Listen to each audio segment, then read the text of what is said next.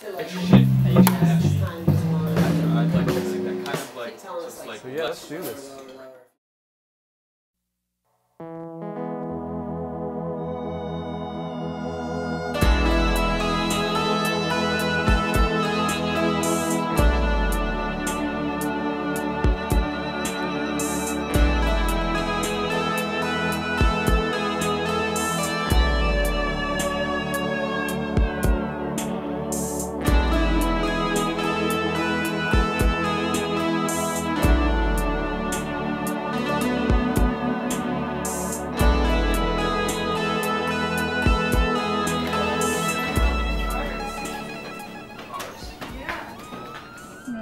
Oh, sure. Hey, my name's Peter Pearson, My name is Emilie Friedlander from La Big Vic.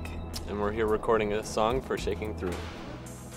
There will be violin, and I have two synths. Toshio has one. Are you gonna do guitar? Yeah. I studied classical music in college, and New York. There's there's just so much going on there that it made sense. After school, I went to France. I lived there for about two years, and then I came back to New York in 2009. I came to New York City as a R&B singer, kind of like Japanese version of like NSYNC or Backstreet Boys. Do you have cute um, XLR? Me and Toshio started a project together. And we needed a third person, so we enlisted Peter. So we were a really big fan of his work. We'll work. try to get you guys to run through the song a couple times just to sort of establish it, and we can do it just to the drum machine that you guys have. Sure. Uh, and then, They're not just the typical, you know, four or five piece, all dude Brooklyn indie band. Something it's something a little bit different and new, and I think that's courageous. We don't know where we fit in, and our music is a little bit. What did we say? don't know. Cosmic? no, I don't know. It's, Weird. Uh, I don't know what it is.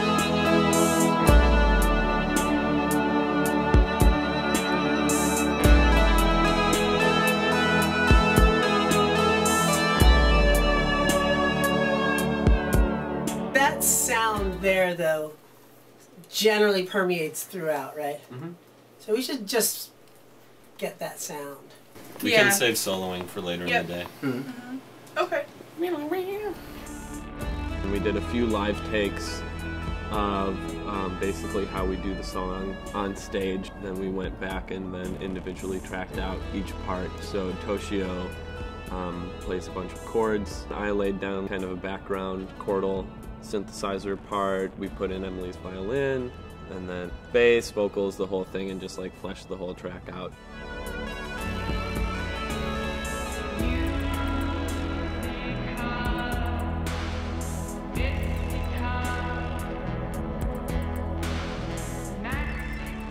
My pickup crapped out right when we hit the studio. So it's something about this. Here. Yeah, it's, it's, we had her sort of wrap it around her neck. We had the, the, the cable. We, we did all these things to try to keep the cable totally still, and it just wasn't reliable.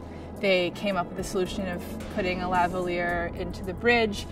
and it sounded awesome. It made it so we could get really rich sounds. We were able to run it through the space echo. Probably sounded better than, you know, the original pickup itself.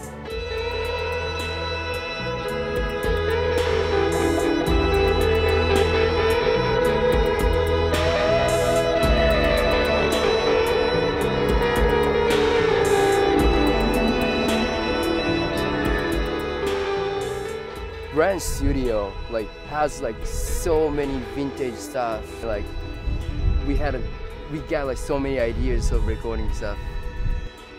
It's good to work with people who are outside of the band too. We always do it holed up in Toshio's bedroom. Yeah, you get so close to it that you agonize over every little thing, and to have an objective ear and someone to bounce ideas off of and all of that is really mm-hmm. great. We have been recording like in a, you know, in a loft space around the corner where they live, and it seemed like they were like the perfect incline in their the relationship as a band that could sort of really grow and like get something out of it. Fact is, today, record labels aren't invested most times in the early stages of most artists' careers. Working in this type of environment and, and having a team of people invested in your music just may never happen for a lot of artists.